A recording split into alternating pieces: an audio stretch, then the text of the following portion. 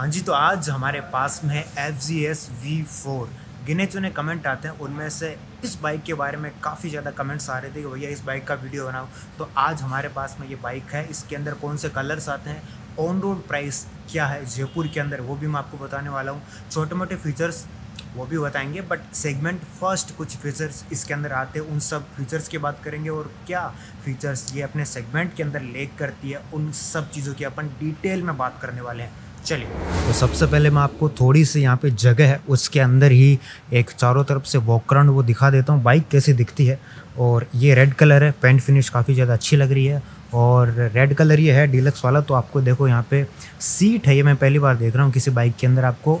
यहाँ पे red colour की मिल रही है स्टिचिंग भी थोड़ी अलग कलर की है। और पीछे से बाइक ये कुछ ऐसी दिखती है। दूसरा कलर अपने पास में ये है, काफ़ी ज़्यादा अलग कलर है। कैमरे के अंदर शायद आपको अलग सा लग रहा होगा बट ये काफ़ी ज़्यादा अच्छा कलर लग रहा है, थोड़ा ग्रेइश है ग्लोसी ग्रे के अंदर है, काफ़ी ज़्यादा बढ़िया लग रहा है। आपको कौन सा ज़्यादा अच्छा लगता है ये बताइए। इस वाले के अंदर आपको ये वाले व्हील्स आएँगे और रेड वाले के अंदर आपको गोल्डन कलर के व्हील्स आएँगे। बहुत ज़्यादा अच्छे लग रहे हैं। गोल्डन का जो कलर है ना थोड़ा सा टिंट थोड़ा लाइट है। और ज़्यादा ये होता ना डार्क तो अच्छा नहीं लगता। छपरी जैसा लगता बट ये काफ़ी ज़्यादा अच्छा लग रहा है।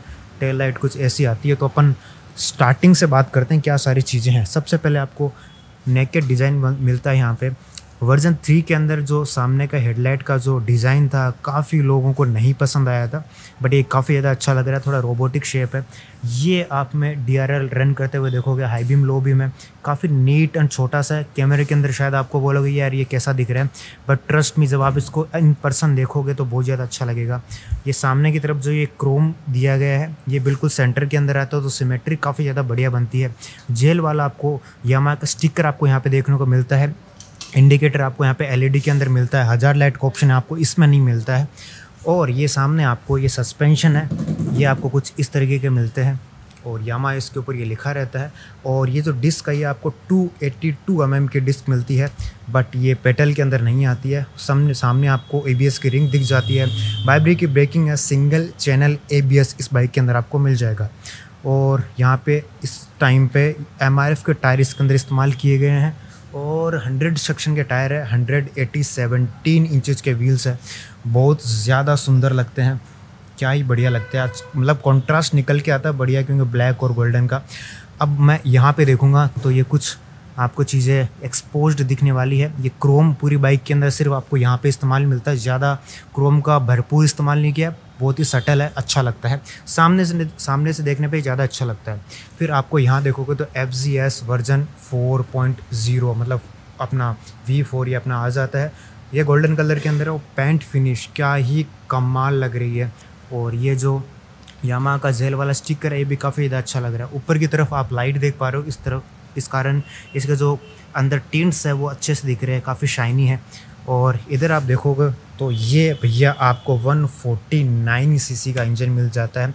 अपना फोर स्ट्रोक इंजन है, टू वोल वाला इंजन है। पावर की बात करूँ तो 12.2 पीएस की पावर और 13.3 एनएम का टॉर्क मिलता है। पेपर के हिसाब से आप देखोगे तो देखो, कंपटीशन के हिसाब से काफ़ी ज़्यादा कम है ये।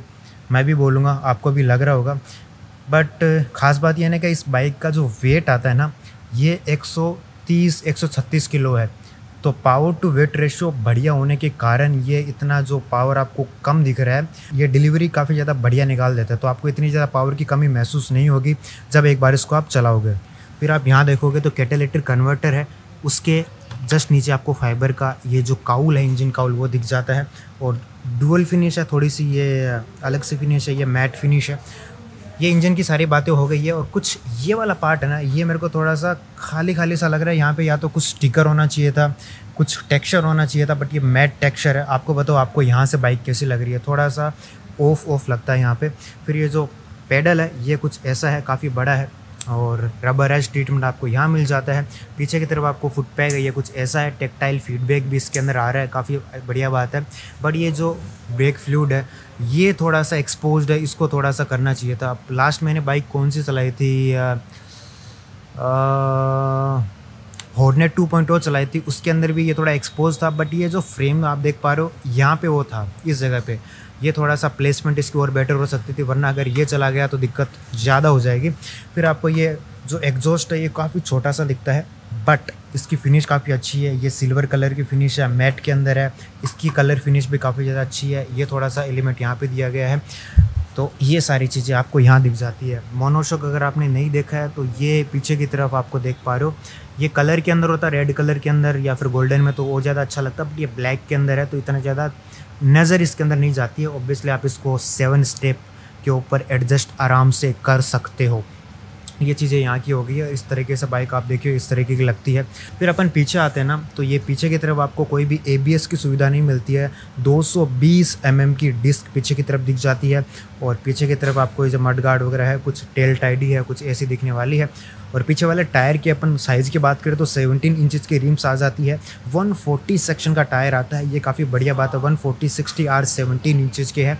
एम आर के यहाँ पे आपको टायर अभी तक इसके अंदर इस्तेमाल किए हुए हैं। काफ़ी ज़्यादा बढ़िया ये लुक है, टायर दे रहा है। टायर के साथ में जो कंट्रास्ट आ रहा है ना, क्या ही बताऊँ, कितना ज़्यादा बढ़िया लग रहा है यहाँ से। रिफ्लेक्टर आपको यहाँ मिल जाता है। इंडिकेटर भी आपको पीछे की तरफ़ एलईडी मिलते हैं और ग्रे ब्रेल कुछ ऐसा मिलता है। बट ये जो टेल लाइट है ये आपको एलईडी है बट ये देख पा रहे हो, ये कुछ ब्लर कैसे बताऊँ गोजन ब्लर होता है ना अपना, वैसा कोई एलिमेंट दिया गया ताकि जो स्ट्रिप आई है एलईडी जैसी लगे बट ये वाली स्ट्रिप एलईडी नहीं है, बाकी नीचे और सिंगल आपको कुछ ऐसा मामला मिलने वाला है। और पीछे की तरफ़ जो अपना ये जो नंबर प्लेट की लाइट है, ये भी आपको ऐसी कुछ मिलती है। लेट मी सी ये हेलोजन है। अब हेलोजन है तो ये गर्म है, ये बहुत ज़्यादा जल्दी हो जाती है। देखो, अभी इतनी ज़्यादा गर्म हो गई है। फिर मैं इस तरफ़ आता हूँ। इस तरफ़ मेरे को जगह है थोड़ी सी कमी है।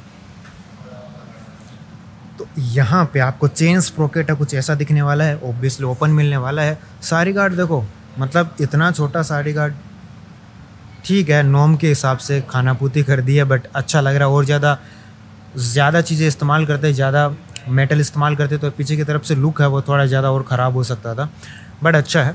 और यहाँ पे आपको ये वन डाउन फोर अप का ट्रांसमिशन मिल जाता है। और अच्छी बात यहाँ पे ये है कि आपको ट्रैक्शन कंट्रोल की सुविधा मिल जाती है सेगमेंट फ़र्स्ट मतलब 150 सीसी के अंदर आपको ट्रैक्शन कंट्रोल की सुविधा मिलती है। हॉर्नेट टू पॉइंट का वीडियो शायद आ गया है या फिर इसके बाद आएगा, उसके अंदर आपको स्लिप एंड असिस्ट क्लच की सुविधा मिल जाती है। मतलब ठीक है, वो भी अच्छा काम करे बट इन्होंने ट्रैक्शन कंट्रोल दिया ये काफ़ी ज़्यादा बढ़िया बात है। फिर इधर की तरफ़ भी ये थोड़ा खाली खाली फिनिश मिलता है, यहाँ पे कुछ ऐसा टैंक आता है।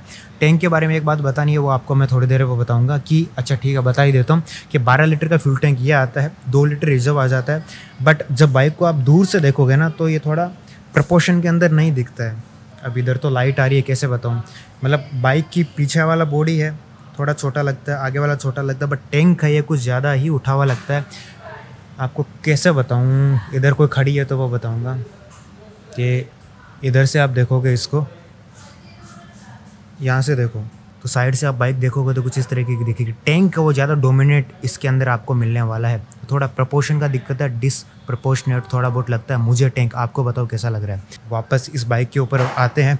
तो अब क्या बातें हो गई? ये मिरर्स कुछ ऐसे मिलने वाले हैं। और यहाँ पे एक चीज़ की आप देखोगे तो बटन्स की क्वालिटी है, ये ठीक ठाक है, ज़्यादा बढ़िया तो मैं इसको, देखो, बोल नहीं पाऊँगा, सच बात है। तो आपको काम चलाओ, आपको ये क्वालिटी यहाँ पे मिलने वाली है। पास है, ये यहाँ पे इंटीग्रेट कर दिया गया ये काफ़ी बढ़िया बात है। यहाँ पे होता तो और ज़्यादा बढ़िया होता बट यहाँ पे भी दे दिया, वो बढ़िया बात है। और पी से आप बाइक को देखोगे तो कुछ ऐसा लुक आने वाला है। बिल्कुल सिंपल सा आपको हैंडल बार मिलने वाला है, कोई ड्यूअल टोन फिनिश वगैरह यहाँ नहीं मिलेगी। बट आपको इंजन स्टार्टर का स्विच आपको यहाँ पर मिलता है। और इंजन किल स्विच है, वो भी मिल जाता है। और ये बढ़िया काम इन्होंने किया देखो, केबल्स है ना, बिल्कुल ऐसा एक्सपोज नहीं दिख रही है पूरा एक यहाँ पे हब बना दिया है। यहाँ से सारी सारी केबल वगैरह सब चली जाती है, ये बढ़िया बात है। फिर आपको यहाँ पे हज़ार लाइट का ऑप्शन है, आपको मिसिंग मिलने वाला है। आजकल लोग काफ़ी ज़्यादा डिमांड करते हैं उसकी बट उसका यूज़ है, वो सही तरीके से आपको करना चाहिए। फिर ये टैंक है, इसके ऊपर आपको ई e ट्वेंटी लिखा रहता है ब्लू कोर आपको यहाँ पे लिखा रहता है, ये फिनिश है थोड़ी सी मैट के अंदर है ग्लोसी होती तो ज़्यादा गंदी हो जाती है, इसलिए सोच समझ के उन्होंने ये फिनिश यहाँ पे इस्तेमाल की है। बहुत ही बड़ा ये लगता है टैंक टैंक के ऊपर ही आपको इग्निशन की जो की है, वो आपको इस, कुछ इस तरीके की आती है, वो मिल जाती है। फिर जो स्क्रीन है भैया ये बदल दिया ये बढ़िया बात है, क्योंकि पुरानी वाली इतनी बेकार लगती थी कि क्या बताऊँ, पूरा बाइक का मूड ख़राब कर देती थी। तो सबसे पहले आपको यहाँ पे देखो, ये जो रेव लिमिटर की लाइट है, ये देखो कुछ इस तरीके की ग्लो होती है। अच्छा अभी इसमें ग्लो हो नहीं रही है तो रेव लिमिटर की लाइट आपको ग्लो करती हुई हाँ दिख रही है ना?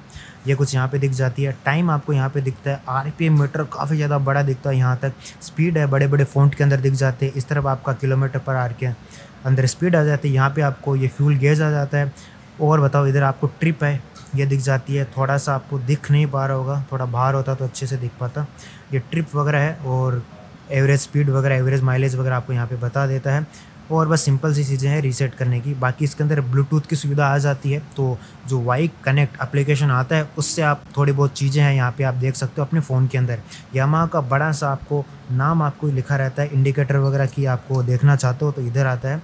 हाई बीम लो बीम ए की लाइट इंडिकेटर वगैरह की टेल टो लाइट इधर आ जाती है। ट्रैक्शन कंट्रोल है इसकी भी आपको यहाँ पे लाइट वगैरह दिख जाती है इंजन चेक लाइट न्यूट्रल वगैरह चीज़ें आपको इस तरफ़ दिख जाती है।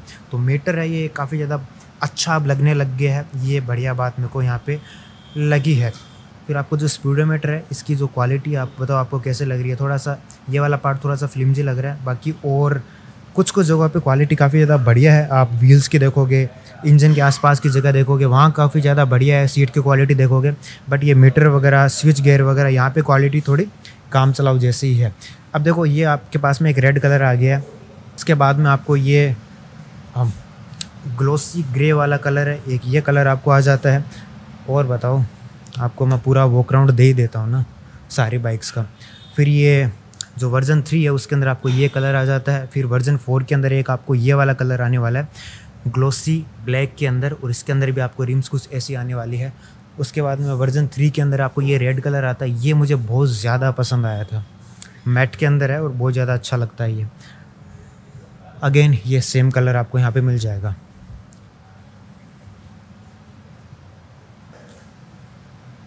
तो देखो, अब अपन बात कर लेते हैं, देखो सेगमेंट फ़र्स्ट फीचर जो अपना था, यहाँ पे ट्रैक्शन कंट्रोल का, ये दिया गया ये बढ़िया बात है, यहाँ पे बट थोड़ी बहुत जो फिट एंड फिनिश है, वो थोड़ी और बेटर हो सकती थी। हज़ार लाइट आज लोग आजकल लोग थोड़ा सा डिमांड करते हैं, वो दे दो तो बढ़िया है, लोग खुश हो जाते हैं थोड़ा बहुत। बस ये सारी चीज़ें थी। देखो, अब बात करते हैं प्राइसिंग की तो जयपुर के अंदर ऑन रोड इसकी प्राइस चली जाती है एक लाख साठ हज़ार रुपये तो एक साठ ऑन रोड ये आपको प्राइसिंग कैसी लगी है, ये मुझे कमेंट सेक्शन के अंदर ज़रूर बताइएगा। बट अभी मैंने इसके टेस्ट राइड के लिए बात की है तो वर्जन थ्री जो है वो यहाँ पे टेस्ट राइड के लिए अवेलेबल है बट वर्जन फोर अभी नहीं है तो दो तीन दिन के अंदर आ जाएगा। तो आपके पास वो वीडियो पहुँच जाए, इसलिए जो इसका मेरा जो चैनल है वो सब्सक्राइब कर लो और नोटिफिकेशन भी ऑन कर लो, ताकि जो वीडियो जब आएगा राइड इम्प्रेशन का, वो आपके पास में बहुत ही जल्दी पहुँच जाए। इसलिए चैनल सब्सक्राइब कर लो और आपके क्या विचार इस बाइक के बारे में वीडियो के बारे में, वो भी बताओ। अगर कुछ भूल गया हूँ तो मुझे आप पूछ सकते हो, वो मैं कमेंट सेक्शन में बताने की ज़रूर ट्राई करूँगा। और और आप हमेशा हेलमेट पहनिए सीट बेल्ट पहनिए और रात को लो बीम पर ज़रूर चलिए। धन्यवाद।